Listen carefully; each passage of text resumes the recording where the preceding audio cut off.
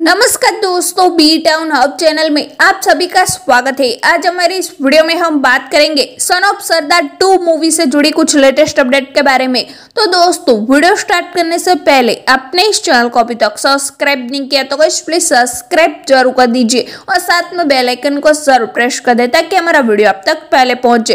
तो चलिए दोस्तों, बिना देखते हम वीडियो को स्टार्ट करते हैं। तो दोस्तों, अजय देवगन की आगामी फ़िल्मों का लाइनअप सिक्वल से भरा हुआ है। इन दिनों वो सिंगम थ्री की शूटिंग कर रहे हैं और हाल ही में उनकी सिंगम थ्री से अजय देवगन का फ़र्स्ट लुक पोस्टर भी सामने आ चुका है। इसमें उनके पीछे एक शेर की परछाई दिख रही है और वो दहाड़ते हुए देखने को मिल रहे हैं और साथ में उन्होंने प्यारा सा किप्सन भी लिखा है। सिंगम थ्री मूवी से वो फिर से बाजीराव सिंगम बने हुए देखने को मिलेंगे और इनके साथ बहुत बड़ी टोली है, जिसमें उनके साथ दीपिका पादुकोण करीना कपूर, टाइगर श्रॉफ देखने को मिलेंगे और साथ में कैमियो करते हुए सिम्बा के तौर पर रणवीर सिंह और सूर्यवंशी का कैमियो करते हुए अक्षय कुमार भी देखने को मिलेंगे। इन सब का भी फ़र्स्ट लुक पोस्टर रिलीज़ हो चुका है, जो दर्शक द्वारा बहुत ही पसंद किया गया। उन पर बहुत प्यार बरसाया और अजय देवगन का जो फ़र्स्ट लुक पोस्टर आया, उन्होंने तो सबको हिलाकर ही रख दिया। इसके बाद वो रेड टू पर भी काम शुरू करेंगे। फिर दे दे प्यार दे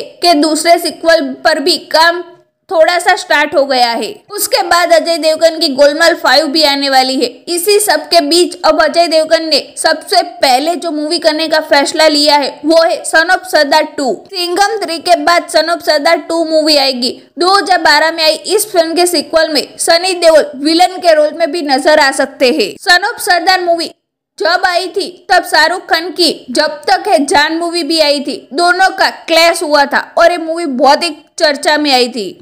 और टिकट खिड़की पर मज़बूत टक्कर के बावजूद फ़िल्म ने अच्छी खासी कमाई कर डाली। 2012 में जो सन ऑफ़ सरदार आई थी, वो 2010 में आई। एस एस राजमौलू की मूवी मर्यादा रमन की हिंदी रीमेक रही थी। पहली फ़िल्म के लिए अजय देवगन को ज़्यादा मेहनत नहीं करनी पड़ी, क्योंकि उनके पास बनी बनाई कहानी थी। हालाँकि तभी से अजय देवगन सन ऑफ़ सरदार को कॉमेडी फ़िल्म फ्रेंचाइजी में तब्दील करना चाहते थे, मगर ऐसी कहानी नहीं मिल पाई, जो पहली किस्सत की क्वालिटी के आसपास पहुँच पाए। सन ऑफ़ सरदार टू का सिर्फ़ सिर्फ़ टाइटल पुराना होगा। बाकी फ़िल्म को बिल्कुल नए सिरे से, नई स्टार कैट के साथ बनाया जाएगा। पहली फ़िल्म में अजय देवगन के साथ संजय दत्त, सोनाक्षी सिन्हा और जूही चावला ने काम किया था।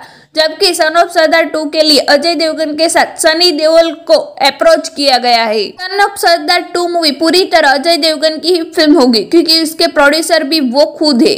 Son of Sardaar two movie बिल्कुल कॉमेडी फ़िल्म रहने वाली है और इस मूवी से अजय देवगन फैंस का बहुत ही जमकर एंटरटेनमेंट करने वाले हैं। तो दोस्तों आप भी ये Son of Sardaar two movie देखने के लिए कितना इंतज़ार कर रहे हैं कमेंट बॉक्स में लिखकर ज़रूर बताएँ। और आगे इस मूवी से जुड़ी और भी लेटेस्ट अपडेट जानने के लिए बी टाउन हब चैनल को सब्सक्राइब ज़रूर कर दीजिए।